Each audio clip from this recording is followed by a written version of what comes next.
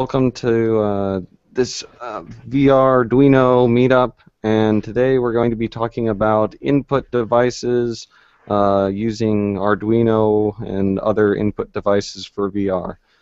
So first up, uh, how about everybody introduce themselves? We'll Okay. Who starts? oh, I guess Uh, we'll start left and go right. Sorry. Oh, is our screen the same? I'll go first. Uh, I'm Brandon. I just got an Oculus Rift a couple couple weeks ago. and interested in different um, inputs for it. So, uh, interested in not not very good at electronics, but I can do CAD and mechanical. So, that's what I'm interested in right now. Awesome. Okay, uh, Randy, you're next. I'm Randy Phillips. I mess around a lot with Unity and Arduinos and stuff, and I'm working on this guy. Lots of wires. Uh, virtual reality glove. Um, besides that, I don't know what to say. So, awesome. Okay, and uh, I'm Peter Sassman, and uh, here in Arlington, uh, in going for a computer engineering uh, degree, fourth year, and working on Project Gauntlet, so slightly different uh, haptic feedback glove. And yeah, that's it. Uh, all of us. So, um, how about Randy? You tell us more about uh, your project, uh, since it doesn't look like there's any other projects here today. okay. Um, so, my virtual reality glove is obviously to put your arm in the actual virtual world. Uh, so, if I hit play here, uh, so it can sense the rotation of your hand using a tilt sensor and a or an accelerometer and a gyro, and it can also follow the fingers opening and closing. I only have two fingers hooked up right now, but uh, they are just partial based on how far you're bending your finger. It's actually bending it in the world, and then it also has the elbow piece here, which moves the whole arm. And I will have another tense or tilt sensor on the elbow here, and that'll follow your shoulder as well. So that's where it stands right now. Nice. Awesome. So, uh, how would you compare it to like uh, STEM and PrioVR and kind of like the motion tracking? You were telling me a little bit about it earlier, but for everybody, Um, well, compared to like uh, the P- Piero or whatever it is, uh, that's mostly got a joystick type thing, kind of like the Razer Hydra. Mhm. Uh, so it doesn't actually track each individual finger; it just tracks an open or closed state. It might Right, have an analog trigger so you can do slight movement, but for the most part, it's just open or closed. And this tracks each indi- individual finger as partially open or whatnot. right? Uh, The other ones are also really expensive. yeah, yeah. Like, uh, weren't they at first asking for like five hundred dollars on their system, and then well, STEM, they were asking oh, for. not STEM. STEM was three hundred. Yeah, I was going to say STEM was asking for like $200 for the base, and then uh, $50 for each individual STEM piece. The other issue with like STEM is it only has a maximum of five inputs, so Right. it's not super accurate. Uh, Yeah, as far as you know, like if you're walking or if you have it on your wrist and then on your body, it only has two points of reference, so it can't figure out where the elbow is. So if you put your hand in and out, it uses IK solvers, so it'll generally speaking have your elbow be almost a straight out motion, where like mine, if you tilt down or tilt up, it will follow that exactly the same. Right, right. So it's got more points, kind of like Prio, except for they were asking for a lot more money. You're gonna Yeah. try to get a more inexpensive solution. Yeah. Uh, Right. like STEM specifically, like I said, it's like three hundred dollars just to get started with it. This, if I get it down to the price point I want, it would be somewhere around fifty to seventy-five dollars at retail, Awesome. So considerably, and that's for two gloves, not just one. Okay. Really? Yeah. Wow. if I can. that's that's the goal. Uh, pretty much, instead of using flex sensors like I'm using, I'm wanting to use uh, potentiometers. Each one of these flex sensors is thirteen dollars, and I would have three potentiometers for each finger, two for the thumb, or something like that. Uh, and it would be able to then track motion like this. Right now, I just get up and down motion, uh, but I could have a potentiometer at the knuckle here that would get the open and close motion. So it'd be a lot more data points to actually, you know, simulate exactly what you're doing. Right, right. Like how uh, Reverend Kyle kind of was talking, um, like he, a lot of people are going to want to sit down while doing their VR experience. Uh, so, or only be standing for a short period of time if they're using something like the uh, Omni. So, like a lot of people aren't going to need like their legs tracked or other parts of their body. They're just going to need the arms. So your tracking solution will kind of cut down on the cost because you don't necessarily need all that. Even if you are standing up, like the Rift and the Omni or whatever you're using will take care of like the leg tracking and everything like that. Yeah. The idea is is to have each major section of the body broke down into its own system. So you'd have arms separate from legs, separate from head. Um, Right. And if you have all that information, then you don't have to track the body because it's being tracked. You can put all the points together to figure out where the body is because there's no way to not know where the body is at that point. Yeah. Okay, so uh, Brandon, do you want to tell them about like some of your projects, like with uh, 3D printing and stuff? Uh, yeah, so um, my background is in a lot of CAD modeling and 3D printing.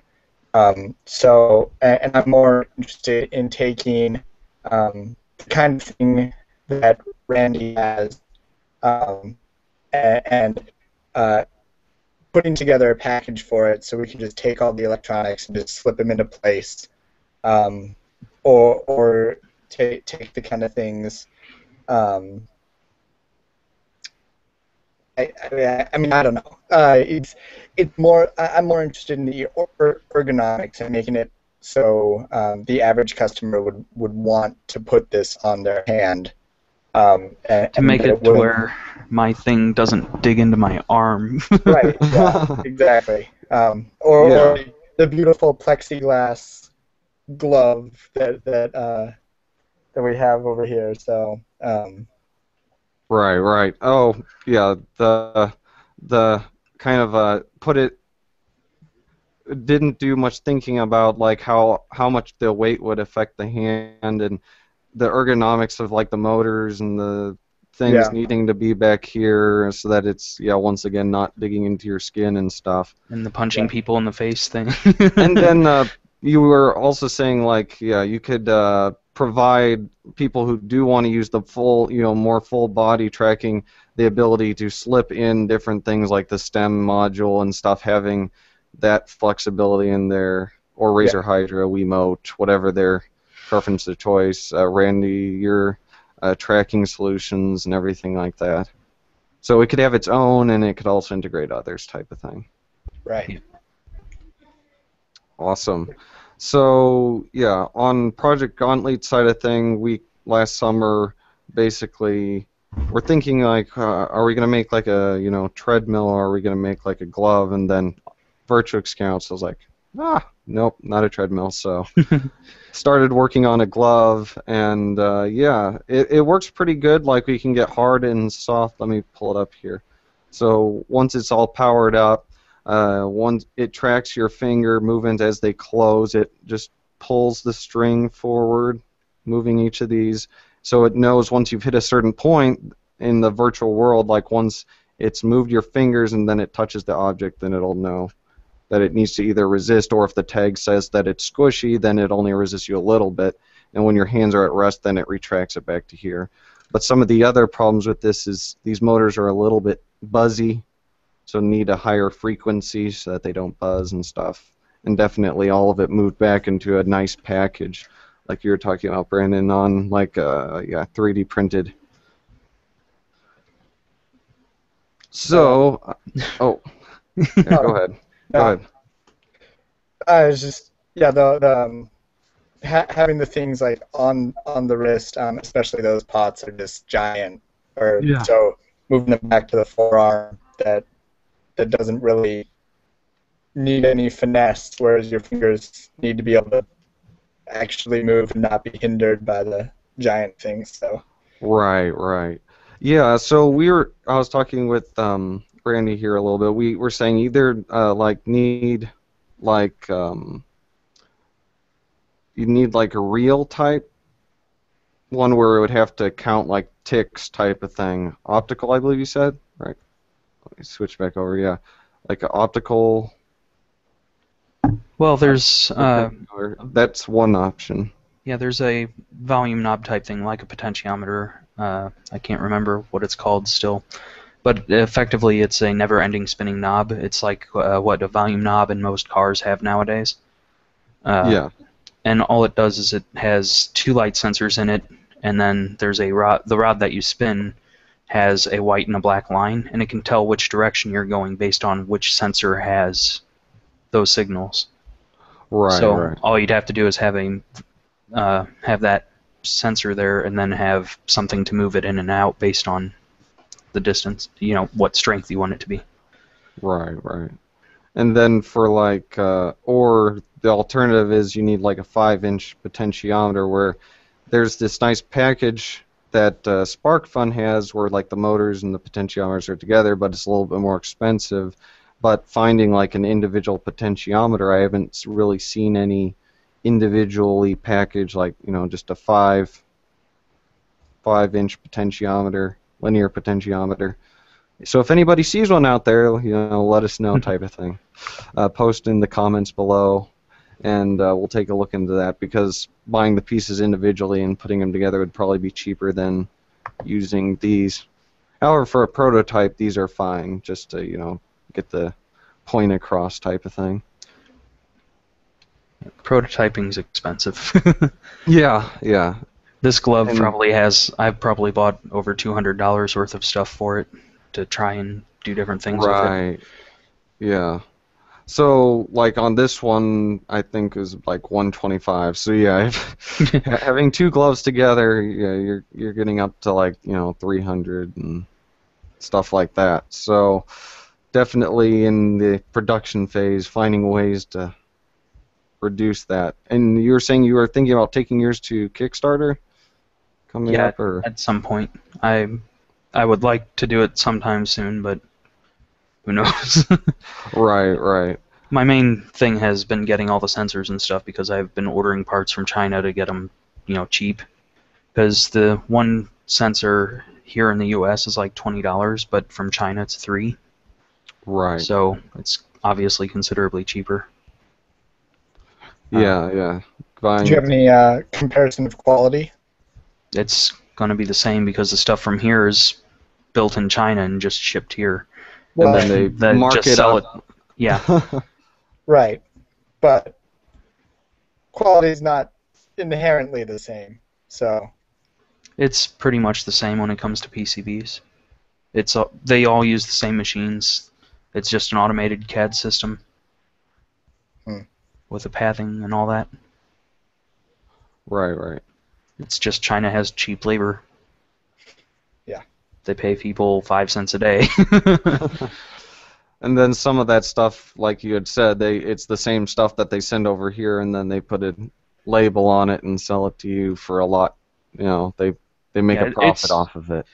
Uh, the chips that I have are uh, GY-521 chips, and literally it's the exact same chip, and it's Right. the choice of three dollars or twenty. Hmm. So- So yeah, these uh, Arduinos and other shields can be, you know, Yeah, I've- I've- yeah, like I told you earlier, I've built an Arduino for about six dollars per unit, Yeah, and that's including the Arduino chip and programming it and everything like that. It's dirt cheap if you buy stuff from China. right, right. So, um, did uh, Brandon? Did you get a chance to mess around with any? I know you're busy uh, with with um, your checkpoint in uh, your senior design program. Were you able to mess around with uh, CAD at all? Uh, I was able to get a little bit done. Um, basically, ran into an issue with uh, the the prepackage of the the linear pot.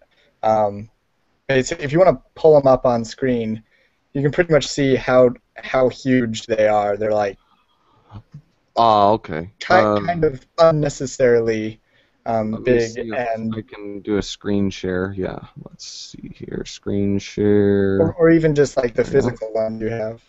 There we go. The uh, Yeah, they're about uh, yeah, they're pretty long. Yeah. Well, and, and the main thing is you, you end up because you're constrained to that weird geometry um, of the L shape. Uh, you end up having a a a wrist. Think like Pip Boy from Fallout. You have one of those wrist things, but it's a good six inches in diameter, and it's just completely oversized and ridiculous. ah, uh, the way the way I had it oriented. Um, so I was thinking about flipping flipping all the things upside down like you currently have on your prototype, as opposed to setting the motors in. But uh, I haven't gotten that far. 'cause Other projects and whatnot. right, right. Do you want to toss anything up on the screen, like show like CAD stuff Uh? I'm actually not on my my CADing computer, so I'm not- Oh, okay. Right. But um, I mean, you That's can fine. basically imagine a Pip Boy from Fallout, except giant. So Right. a little bit more. I was I was looking into getting the individual components and doing it from like from scratch because um, not only is it cheaper, like you said, but it gives you more freedom in the actual um, adjustment of the uh, uh, in, in the design of the, the project. So, um, Right. but prototype doesn't really need to be nice and compact. Maybe not. So, um, probably next week I'll I'll have something that can actually. I'll try to get something printed so you can have like a physical model check out. But we'll see. Awesome. Cool. And uh, so that would be like the wrist se- section, right? Or the Yeah, Arm. I'm, I, yeah, I'm kind of thinking like basically from the forearm. The forearm is where all the, the brains and and brawn would go with like the motors, um, and then um, uh, I was telling Peter earlier, but uh, we the the current system that he has with the wires. Um, there's a they're, they're very similar to Bowden cables, which are what you find in uh, brake lines on bicycles, for example. Um, and it's basically put a string in a tube, and the string will have to follow that tube. So um, it would make for Right. a very it would make for a very slim glove. You could just have a really thin glove on your hand with tubes going up to each finger, um, and then all the all the big stuff down here. So you have a really nice light hand, but you have a relatively heavy all the all the heavy duty stuff on your forearm. So yeah. So like uh, uh, Randy, like uh, you had said, with um, putting at the wrist uh, a point where all those things come together, you could have the Bowden cables come Yeah. to each of the uh, come connect back here, connect at the wrist, and then co- go down to each of You'd the have to go fingers. down each knuckle because otherwise it changes the distance, the length. Uh, because if the string falls to the side or something like that, it would change the length of it. Yeah, it has to stay down the So- middle. Yeah, and you'd have then to keep it- it on the middle of each knuckle. Yeah, and then after it's connected here, then it would go out and then it lets it freely pull. So how flexible are those Bowden cables? Would it possibly be that um, once it comes out the end of, I guess it's like a hardened rubber tube kind of sort of, would it? So- uh, Well, you can make them out of anything that you want, really. You could just have cloth around a piece of thread.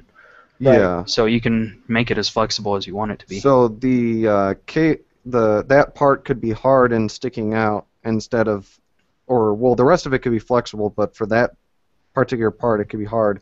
But you had mentioned earlier, like you don't want to be like um, one of the X-Men, uh, Wolverine, and accidentally punch out your screen or something because they're too pointy. So put like something soft on the end of each of those, maybe. What are y'all's thoughts on that?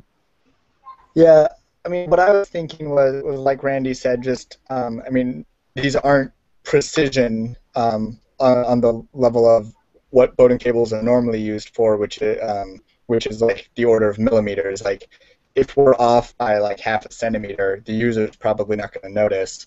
So um, I was thinking just cloth, a, a cloth tube um, with uh, high high high strength fishing line inside to give you that nice slippery motion. Um, and then uh, you there wouldn't it, I mean it wouldn't be any hard plastic on it at all. It would just be like cables inside of a cloth glove. So um, that's another thing to look into. Um, Right, right. I don't know, get your sewing machines ready and with that home ec, you know. Yeah, awesome. uh, but for the prototype, are you thinking uh, like the buy some pre-bought Bowden cables or I, maybe. maybe? I mean, it's, it really wouldn't be that hard to, to just sew it up and go. Um, right. uh, but we'll so, see. so if anybody out there is good at sewing and wants to send some homemade Bowden cables, let us know. Awesome. So uh, I guess we've kind of covered the glove side of things for this part of the live broadcast. Um, is there anything other other input devices y'all have seen out there that uh, y'all would like to talk about? Uh, I, I actually not related to a new input device, but I had a question for Randy. Um, you're uh, you're, you're using the flex sensors. Hmm. What is the radius of the the minimum radius of curvature you can do? Because I was thinking about looking at those, but it seemed like if you bent your hand too much, you would just snap the plastic or something. Does that is that Uh, an issue? The only the only issue is is at the very end. Uh, let's see if I can. At the very end, there's a plastic piece that covers the entirety of this, but at the very Oh, yeah. end where the metal connects is not covered by Uh-huh. that plastic, so it's really easy to snap it by bending too far. But this stuff you can bend Oh. it, you know, that far and it'll work fine. Okay, right. that's pretty good. So yeah. However, the if you- price point, like you said, was yeah, it's 15? thirteen dollars, thirteen. Thirteen Yeah. per each. So if you had two gloves, you know that if you did just the main four fingers, it's eight of them. So that's Yeah. like ninety to hundred dollars just in flex sensors. Right, right. So we're all looking for that low cost distance So- tracking solution. So, so that's another thing. Why, when you say four fingers, which four fingers are you talking about? I'm talking about uh, these four fingers. Uh, the reason for that is is you would still need the thumbs with a type of joystick for movement, and that's the only Oh. reason I don't mention the thumb at all. Okay. Uh, I'm trying to come up with some type of idea for movement, but besides putting you know a whole bunch of buttons on the floor for you to step on, I can't Yeah. come up with much besides just putting joysticks on the thumbs. Mhm. No Spider-Man motions to go move forward or something. But um, you could do that, but it'd be you know after a while of doing this forever. Yeah. So, so uh, one thing I was thinking about is uh, your your ring finger and your pinky finger are pretty well tied together in terms of tendons. Uh, like if you if you bend bend your ring finger, I can, I can go all the way down like that. So true. yeah, I can articulate each of them individually fairly well. I- So the way that a lot of places or, or a lot of gloves that I've seen before do it is they tie the ring finger and point or the middle finger and pointer finger together, and then the ring finger together, so you just have three fingers. Okay. yeah, But I'm going for as much, you know, articulation as possible. Yeah. it- it's mainly immersion. I mean, if you can, if you bend your ring finger and both fingers bend, it feels weird. Yeah. so if you have an Oculus Rift on, and like I was, I said earlier, I had uh, to. What's your name? Sorry, I'm horrible with names. Uh, uh, wait, me? yeah, you, Oh, Peter. Peter. Hey, okay, or you sorry. can call me Red. Either one. Horrible the with names, show up down but uh, Yeah, they show up down there. You have Okay. the mouse over them. Okay. Uh, Yeah, I, I I'm not sure how to turn off because uh, there's a like a mode where it switches between whoever's talking, and I I don't know how to deactivate it. Like once I oh, you click on just one? click on. If you click on one, uh, then you just click on it again to deactivate it. okay deactivated now. Okay, now it should auto switch. Awesome. Yeah, Okay. as soon as someone has priority voice, so it should have switched to me. there we go. Yeah, it, it switched to you. Okay, but uh, yeah, just as I was saying earlier, uh, I had the glove just sitting on the table, and I was testing out some of the stuff, and I was looking at it on the screen, and I was bending the finger with my right hand, and just had my left arm sitting there, and Mm-hmm. it was creeping me out because I could see my fingers moving, but not my fingers moving. so it's it's like a phantom, you know, Phantom arm Limb. type of thing. Phantom limb. Yeah. And Yeah. It, it So if you if you stop movement of an arm when you're in a virtual setting and your arm was normally moving and it just freezes, you go, you know, your brain goes, I should be moving. so it's Right. kind of like in Half-Life 2 when you get to the loading screens and they just freeze, your whole brain goes, what? now for that uh, moving forward while in a sitting down thing, what what do y'all think of like the EPOC, the Emotiv EPOC?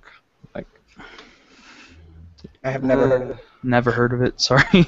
Oh no, you haven't. Uh, let me see if I can remember. I wouldn't doubt that one. I've heard of it, but I probably, or it's probably just one of those things I don't remember the Uh, name.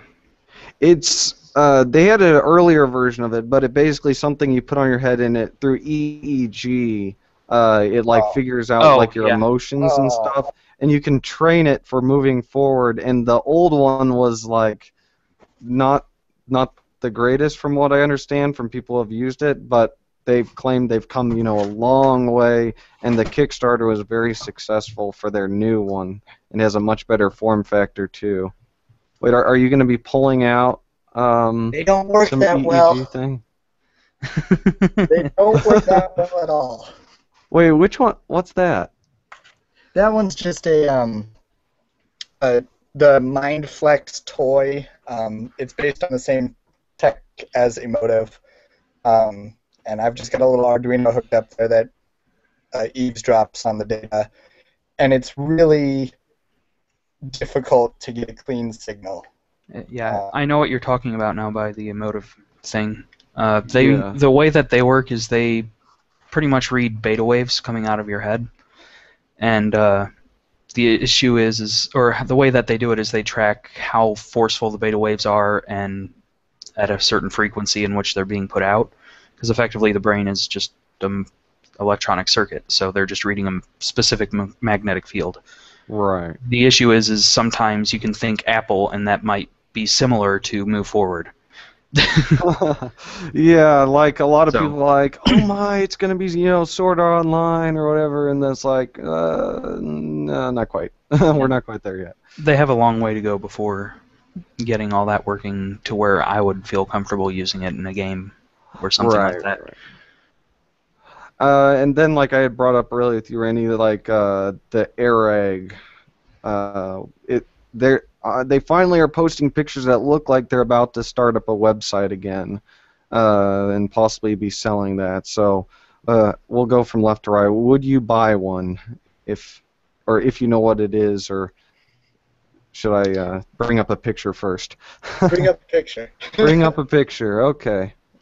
See if Should I also say I don't think that people are in order on the their own screens. Because like I'm all the way to the right, but I Oh, okay. Sorry Yeah. about that. Let me. I'm. I don't know if it is in order always, but I'm pretty sure that your screen is always in the bottom right. Right. Okay. Uh, let's see. Hopefully they won't mind us showing it because it's free, like almost free advertising for them. Uh, just showing a quick picture. Uh, I'll I'll just do a Google Images search. That'll probably be fastest. Images, and then ba, ba, ba, okay. So we'll just fl- flash this up there real quick. Okay. Have Have y'all seen this? I will tell you when it finally shows up. Yeah. Your Okay, it may take a there, second. there it's going. I'll, I'll click on mine for Oh, a the second. vest. yeah. The vest. Yeah, I would never buy it. Okay. No. Wi- a wireless thing that like gives you vibratory and like pressure and other feedback with surround sound and all that. But I think the asking price is like 500. yeah, it's Yeah. too expensive. Too Uh, expensive. the other the other thing is is it's not accurate enough in my opinion. I mean, you can see like one of the pictures you have or it shows there has a whole bunch of blue rings and that's where their pressure sensing or pressure things are generating. generating, yeah. Yeah. Uh, so you feel the general area but you don't feel specifically where and that would just be annoying to me. Right, right. I, I was hearing some people's ideas for that was to uh, use like a vest like that, uh, but not uh, necessarily in a VR sense, but as like um, people who can't see, like they would vibrate in different spots to mean different messages or whatever. Yeah, the only problem with that is then you have to remember, you know, several hundred possible places doing meaning one thing, and if you feel two places at the same time, it you could not remember or tell which one is happening, or if five of them happen at the same time. Well, some people, uh, when they lose one sense, then their other senses are increased. So maybe if they have a higher, uh, it's up for debate. You know. It, Like it would come down to the specific person as to whether they can, you know, i if they get sensory overload or not. Yeah, yeah. Okay, uh, so since we're kind of on the topic of you know just other input devices, since yeah, we don't have any more you know devs on to this week, uh, what what are y'all uh, some other ones we could bring up? Let's see here, we got uh, the omnidirectional treadmills. There's like the Omni versus Cyberith. What do y'all think on uh, those two versus each other or whatever? I think in general they're just not. I think that everyone that's bought one is about all that's going to buy them. Uh, and my reason for that is most people play games just to sit down and relax. And like I talked with you earlier about, people don't want to go into DayZ and run for 6,000 meters.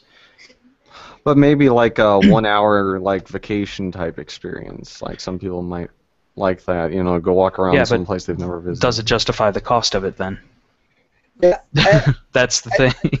I mean, honestly, if it was between buying an elliptical or a treadmill to put into my house to exercise or something, I would totally buy.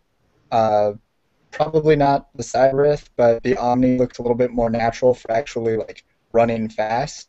Um, but I mean, just I don't think they're they're they either of them will work fantastically with any currently existing games. Um, it's just most games are designed to be like you are a superhuman. Uh, so when you use walking as input, it gets difficult. I think if people designed like, um, yeah, I mean, like even something like Wii Sports for for the Oculus Rift that was just kind of like run around a track or run around a tropical island, and it didn't really have a point except maybe collect balloons or whatever.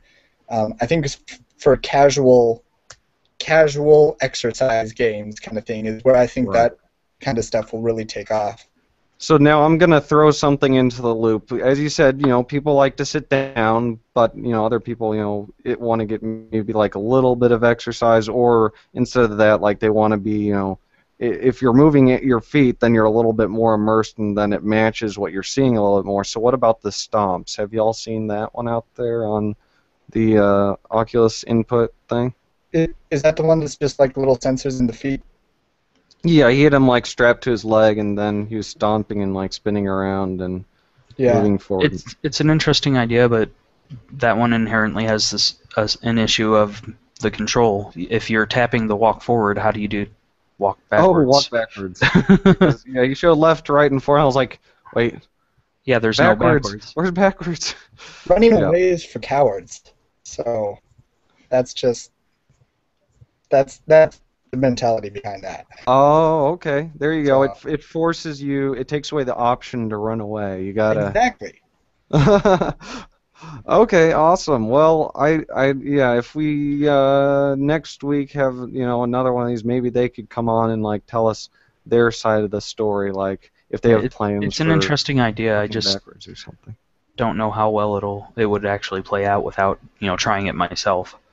Right. Yeah, that's that's the thing with all this VR stuff. Hopefully, yeah, that's like my glove future- at this point is pointless because there's no games that have you know there's like the portal stuff maybe, but there's no major games that have any type of hand input. They might have Razer Hydra where it moves the whole arm that way, but Right. not you know you can't pick up a cup with my glove in any modern game because it's not programmed to.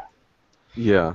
So, So- they they needing content is the first step, and then after there's the content, then you have to get it onto some people's hands, and you have to have people say yes, this is this is cool, this is what we want, and then other people will then you know be like, okay, I'll try it, and then once you have enough, then you can head to Kickstarter type of thing, and then hopefully have some more adopters type of thing. But still, if once all the uh, early adopters have finished, then all the late adopters they're like, no, I gotta see this in the store and actually have it on my hand before I'll try it, type of thing. So yeah So on, on that note, um, obviously, uh, I have no experience programming in in terms of Unity or what whatnot. So this is mo- mostly for you guys. Um, Randy, we've seen your demos with uh, with the hand, um, and Peter, I know you were talking about a um, coffee I'm cup starting to- demo, be a oh, barista or something. be a barista, yeah. I, I- I need to get some more shots of Reverend Kyle and have him be the barista there. He, he said he wants to be in a game, so I, I we, we should help him have his wish come true. He'll, he'll be the barista there, and you know, pouring the uh, Can put him in a nice cappuccino and pink putting the outfit. foamed milk, foamed milk, and then like taking a toothpick, like they do in some pla- fancy places, and drawing images. That'll be like a little mini game. You got to draw an image in the coffee and then like give it to the person. I should say the foamed milk, though. Yeah, it, Yeah. It, it, it's it's an art. But um, I, I mean, ha, ha, have you gotten anywhere on that? I'm waiting for screenshots. you I? I just got Okay. the glove working with showing the arm today. So I mean, yesterday it was literally a box with two little boxes attached, and when I move my fingers, it moved the boxes yeah. down, and that's it. so I just got these sensors working to where I can actually read the data properly from them. Nice. So Right. yeah, right. the the entire arm moving stuff was programmed today. So you're using the. I, I want to make sure you're using. Are you using the VR Arduino plugin, or did you like develop your own way I'm of just- interfacing? Talking through serial port. Talking uh, through a serial port, not even needing any extra plugins. Yeah, it's just using C sharp with a standard serial port, and then the Arduino is just sending numbers with commas. Awesome. Every comma delineates, you know, the next unit of measurement, and then it just reads the buffer until there's enough segments that I know that that's all the segments, and then it inputs it and applies it and everything. Right, right. You had said earlier that you've been you've been working in the world of Unity for like four years now. So Yeah, um, actually, the people that did the Arduino or whatever it was, Uniduino, whatever, I don't remember. uh, they actually at one point had seen my stuff. Uh, I had posted how to do it on the Arduino before, or on the Arduino website. So they had actually seen that, and it inspired. I think they said it inspired them to go all the way with it. right, right. The main reason I posted it before is uh, I had something similar to the Oculus Rift, where it just but it only had uh, pitch and roll. It didn't have yaw. But I had that like four years ago, so Cool, cool. So d- did you uh, get the that inspiration from like the old, um, you know, any of those old double picture things, or where, where did you get your ideas for messing around with that? I just wanted to see if I could do something that made it look like 3D. so I strapped a USB LCD to my head with the sensor on it. It just didn't have lenses and such. Oh, okay. So you're having to kind of do like cross-eye. No, I just had it sitting in front of me, and then I put my hand between to stop my eyes from switching. I had- Right, right, right. I, Oh, It's the same setup as the Rift is, where it has two separate cameras, and it just displayed to the different sides. Right, like like uh, Lucky had said, like um, a lot of the people who try to make these, they like uh, they were doing stuff, but then they didn't realize, you know, you have to collimate the light just right, and then it actually, you know, comes alive, and you can see depth and stuff a Yeah. lot more easily. So, All I had was boxes floating in a room, but it was cool to see 3D like that because um, the main, or when I did that part uh, was right when the shutter lenses and stuff were coming out for TVs, and that's Mm. that's what made me really go. I want to see if I can do this because I had Unity, so I knew I could program enough to get it to display properly. Except I didn't do barrel distortion and lenses and stuff, obviously. hanging around anywhere, or No, it's just Oh. I just had an LCD and I just held the Arduino like this to the back of it. So, now, when it comes to the gloves, you want to be a little bit more persistent and get this out there so that like somebody else doesn't. because I had the idea of effectively what the Oculus Rift is now back four years ago, and I just stopped because I didn't have money. And now I have at So least we- a a regular income now. Back then I had Yeah. I was out of a job, so I had no s- source of money at all. So it was Right, just what. I had at the time. So yeah, we uh every uh words aren't coming to me. I know how Um, that feels. yeah. So um yeah, getting gloves done, showing them to people, uh, getting people to try it and say that this is cool so that other people are early adopters are willing to, you know, try it out there. That that's kind of our goal with the gloves. So Awesome. Is there anything else for the live segment? I, I, I kind of feel like maybe two hours would be a little long to take this to eight, so maybe we'll take the live segment just to seven. So, uh, any other things y'all want to touch on before we kind of wrap up the live segment? Mm, Not really. The, the only thing I can think of is, um, and maybe this isn't exactly necessary for the live segment, but um, logistics of uh, of sharing sharing ideas. Basically, um, obviously, we don't want the kind of thing uh, that happened four years ago, where you, you have the the thing, the the LCD, and then it just kind of gets disappeared in, into the ether or whatever. You want to put it on the internet, get it out there. Um, how things like uh, sharing bill of materials, sharing code. Um, I don't know if you guys want to talk that off off the line live segment. That might be better. But Well, uh, I guess we can put it out there. Like, um, I know you and I are going to be work collaborating together, and like we kind of have a Facebook group where we're kind of you know cataloging everything, so like everybody can get credit where credit's due. Uh, but uh, Randy, were you? Uh, I guess do you want to talk about this online or offline? Would you be interested in collaborating at all in like trying to make like a cohesive glove project type of thing?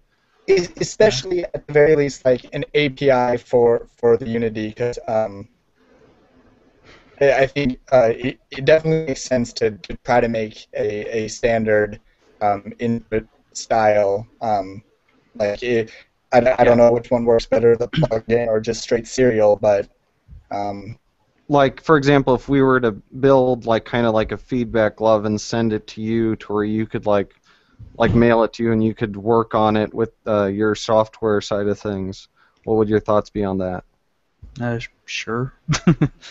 um, well, right now the way I have my glove programmed is it obviously the Arduino is just sending data to the computer. It's not Right. sending it calcul. It's not sending alterations to it, so it's not like it sends the 16-bit data from the tilt sensors. So it's not you know one degree or five degrees or 30 degrees, whatever, uh, because the raw data then makes it to where the plugin that I've programmed in Unity can be used by other people's gloves. It just sends the same data string. So you can Right. get all the sensor information to be other sensors. Uh, You know- so you could program it not to be an arm, you could have it be, you know, a leg or whatever, and just apply the same script. yeah so are, we could like debug like over the air like uh, like uh, you, you uh, Brandon, you could like make it over there, and then he could send the code, and while we're online, see if it works, type of thing, or Yeah, I, I mean, one of the reasons um, 3D printing works so well for this is if you have access to a printer, it's pretty trivial for me to send you the files. I mean, just email, and uh, we can all have the same hardware. Code is really easy to share. Um, yeah. Yeah, hardware is not. so like Brandon, if like uh, yeah, you were to, I guess 3D print, or if you were to send me the files and I 3D print, either way, like get the hardware on there, and then the code's easier to distribute around. And maybe we could all three have gloves together and be like, yeah, play a game We together, and virtually Show that shake it works. hands with each other. We can virtually shake hands with each other. yeah, like if you pull up my screen as the main thing, I can show you. yeah, Quick. Uh, clicking on that one. like here on the right is the AR input, which I did it Oh. originally as Arduino input, but I guess it could be augmented reality. Oh, his arm's kind of bent backwards. Uh-oh, ouch. anyway, uh, let's. Nope, it's not working. But uh, you can see all the different inputs here, and then I have a second script that's taking those inputs and then applying it to the different bones of the 3D model. And Awesome. I really don't know why that's offset like that. Ooh. Well, actually, that wouldn't hurt. No, that doesn't hurt. that If- if that's you bend backwards. back- That's your left hand. That, that's it- bending your arm yeah. back this way. That's your left hand. Oh, that's the oh, that's the left hand. Okay, that oh, would I hurt. it's I know it's wrong. That I would hurt quite a bit. I have little There. wires going everywhere, and I Oh. unplugged something. I'm sure. Yeah, I unplugged the ground. Yeah, so. yeah, yeah, yeah. That's that's why I switched over to a ribbon cable on this because like all the wires were going everywhere at first. I, for some reason, that was the best picture I had, which I put on the forums. Was the one with the wires going everywhere. It looked kind of cool, but w- in all reality, the one, the ribbon cable ended up helping manage all the cables, and then it took away a lot of that bugginess. Like every once in a while, it looks slightly less painful now. Yeah. but like uh, you can see that I have the ring finger here. So if I bend the ring finger, you can see the values change. Uh, so the idea is, is that anyone can use the same kind of input and just output numbers and stuff through the Arduino. And you can have light sensors, fans, whatever. uh, So oh, okay. kind of like the yeah, there's a good whatever. point. Um, like the other, uh, I wonder if I can bring it up real quick on the meant to be seen forums. Uh, but like the other sorts of things that you could feel uh, in a glove, besides just uh, like what people found Im- important when it came to haptic feedback glove. Uh, one second. I'll be able to toss that up in about three seconds if my mouse can stay on the right screen long enough. There we go. Okay, so people definitely wanted you know like hard and soft resisting. This is kind of a small, yeah, set of people, but it's still kind of. What do y'all think? Do you think 49 people is enough to kind of tell? It's a start. It's a At start. So like uh, the pressure. What? Yeah, what that's pretty much pressure? lining up to what I would have thought. Um, I would have said the two most important things would be the pressure on your fingers, like feeling, you know, when you grab something, feeling that you grabbed it, Yeah. and then resistance to actually stop you from going further, which is what your glove is obviously trying to do. right. Uh, and the reason for that is just texture, while it's important for full immersion, it's not required for you to know what's actually happening in the environment. yeah. I, And I'm third- wondering with moisture if I should have also said slime. A lot of people probably wouldn't appreciate feeling slimy hands though. I don't know that moisture is really needed as much as temperature. Uh, if you can't see what you're doing and you touch something that's cold, you can also might think that it's just wet. Uh, Because a lot of people a lot of people associate wet with cold. So you can simulate things with just temperature. Yeah, so some of these things could be like combined uh, together, quite possibly. Uh, wireless seemed to be like just underneath, like about the same as like soft resisting, maybe. Yeah, wireless is pretty easy to do with just like a Bluetooth device, though, uh, Yeah. because you you can. I have one uh, Bluetooth device that was three dollars on Deal Extreme that I can attach to an Arduino, and it just sends text data, the same data, this a serial connection, just like I have already.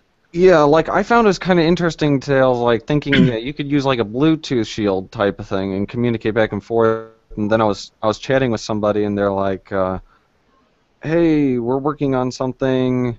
If you're interested, like we could send you like the same people who are making something for us. But oh, by the way, uh, you'd probably need this Bluetooth SDK, which would cost you like two thousand dollars." And I'm like, "Wait, what? I th- I think there's." Uh, that, that's a little bit, yeah, crazy. I don't think we, if we use like the Bluetooth shields that are available, that won't be an issue. Yeah. Yeah. Yep. Like I said, you can get Bluetooth shields for pretty, or Bluetooth. It's not necessarily a shield; it's just a chip, but you can get them pretty cheap. Right, and then using like the already existing Arduino libraries, you don't need to go re- reinventing the wheel. So that's one of the nice things about Arduino versus having to invent your stuff from scratch is uh, you can do pretty much whatever you want. So that's why this Hangout's kind of called, you know, VR Arduino. We can see the value of like how making stuff following the open source Arduino stuff we can Well, I'm doing all this stuff without any knowledge of electronics. I figured it all out by, you know, just looking online for stuff, how to do certain things. So Right. You don't have to know what you're doing a lot. You, you at just have to know just enough. yeah. Depends on how much money money you're willing to spend. If you have Right. infinite money, you don't need to know anything. Yeah, I think what that guy was kind of trying to get across was the fact that, like, for really low latency, maybe you'd want yeah, to. I I wouldn't want it for something like the Rift because the Rift would need too high of la- or would get too high of latency and you would get motion sickness and stuff that you already have just yeah. with a wired connection.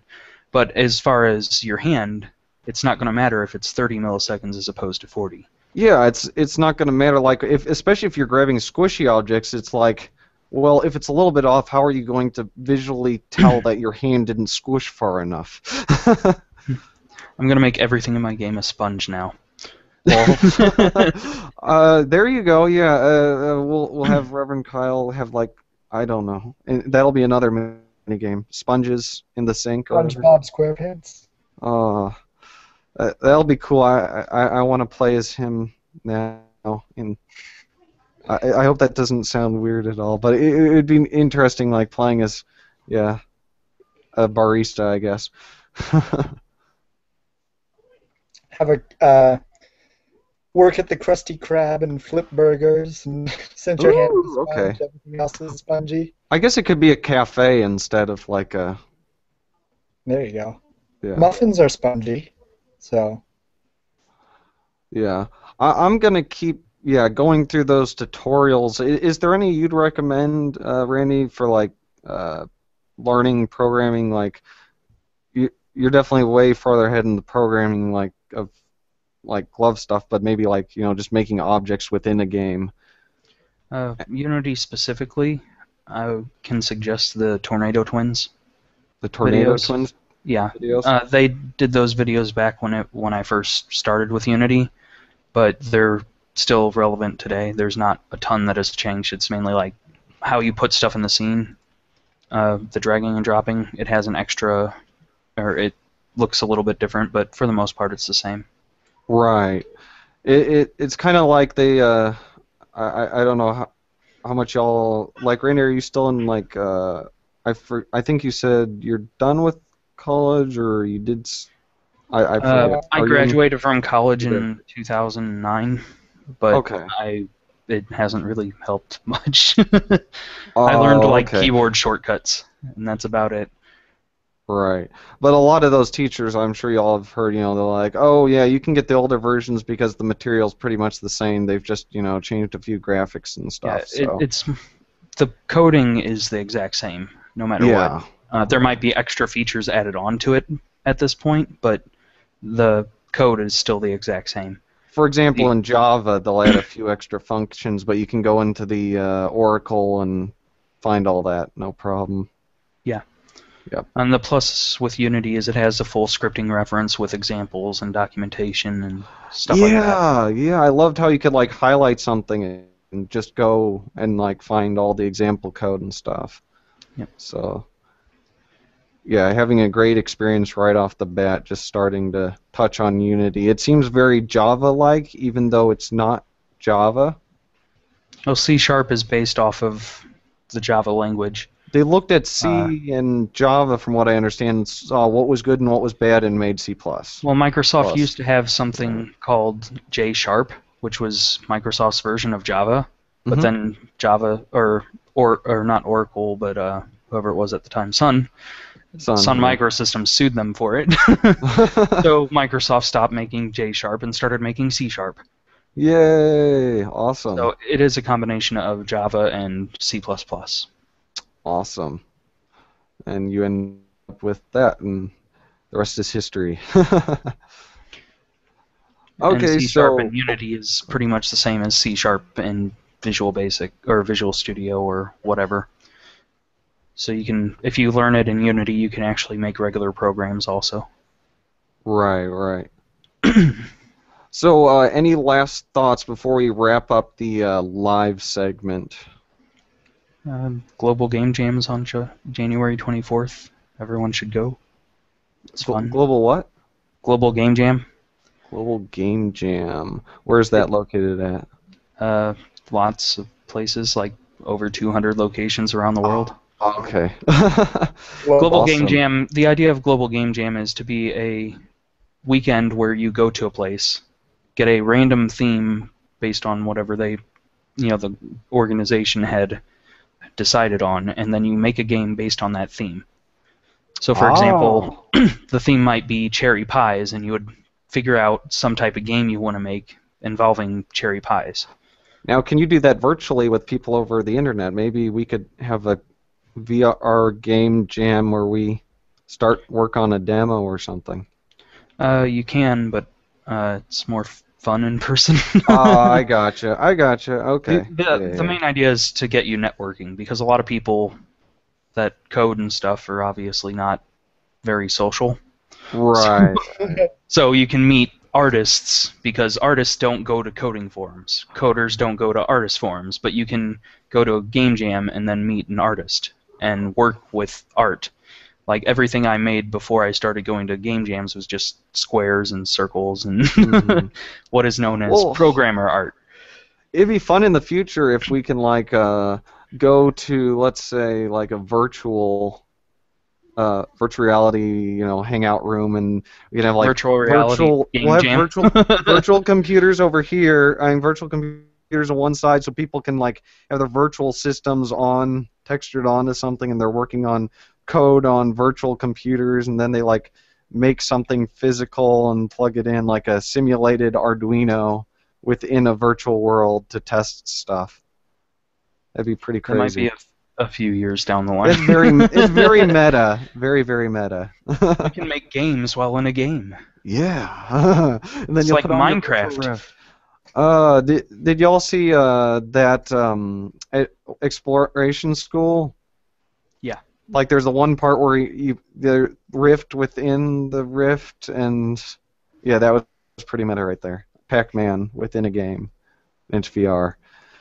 Anywho, so uh, I guess that pretty much will wrap it up for our live section. Thank you everyone for coming out today and. Uh, uh, our viewers for watching. Um, please comment and let us know your thoughts, uh, any of the subjects we've touched on, if you got ideas. And um, I'll probably uh, get the link to the Facebook group in the description of the video as well. And I guess that'll conclude it. So uh, we'll see y'all later, everybody. See you next week. Bye.